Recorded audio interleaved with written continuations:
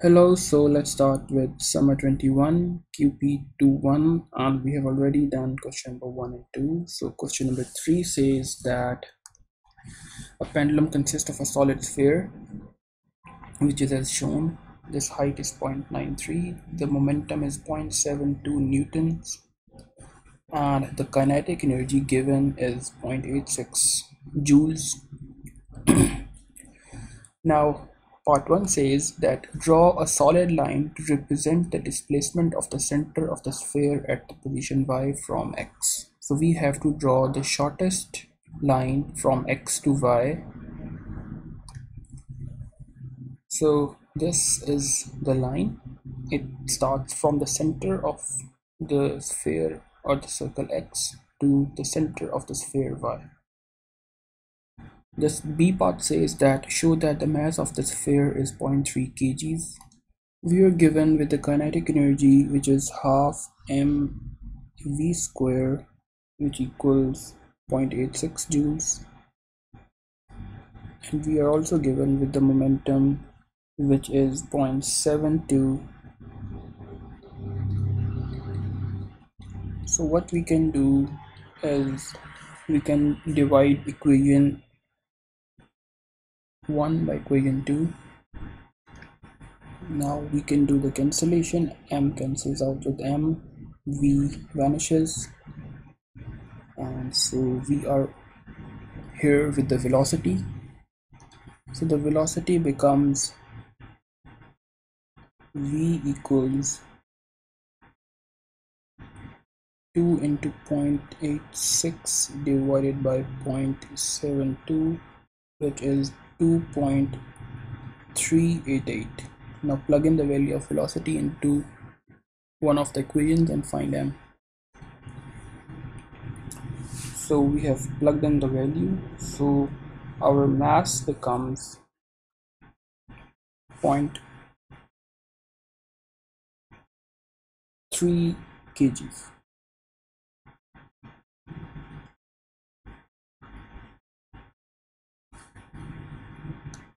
so in the next part it says calculate the height h so we are already given with the kinetic energy which will be converted to potential energy given that no heat losses occur which equals 0.86 so what you can do is equate 0.86 to mgh.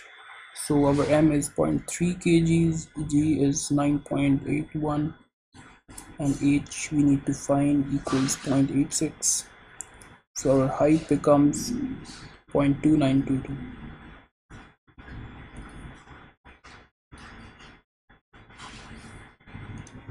so D part says the distance between point P and the center of the sphere is 0.93 meters. When the sphere is at position y the string is at, as, as at an angle theta to the vertical show that theta is 47 degrees. So we already found the height which is 0.29 0.2922 so we can calculate this height. And this forms a tri uh, triangle. So this forms a right angle triangle. This length becomes 0.93 minus 2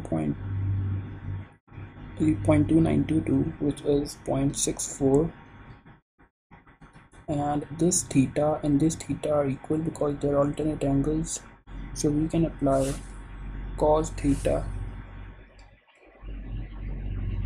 Cos theta equals 0.64 divided by 0.93 so theta becomes cos inverse of 0.64 divided by 0.93 which approximately equals 47 degrees D part E says that for the sphere at position y, calculate the moment of its weight about point P. So at this position, here is the weight, which is mg, and we need to calculate this distance, which we can find easily because now we have theta and the length. Now we need to find this d. So this d is sine theta equals d over 0.93 so d becomes theta which we know is 47 so sine 47 multiplied by 0.93 makes d equals 0.68 meters. So let's plug in the values 0.3 mg 9.81 multiplied by 0.68 meters. So this becomes 2 newton meters. So part f says state and explain whether the sphere is in equilibrium when it is stationary at position y no the resultant force is acting on the sphere. It is not in equilibrium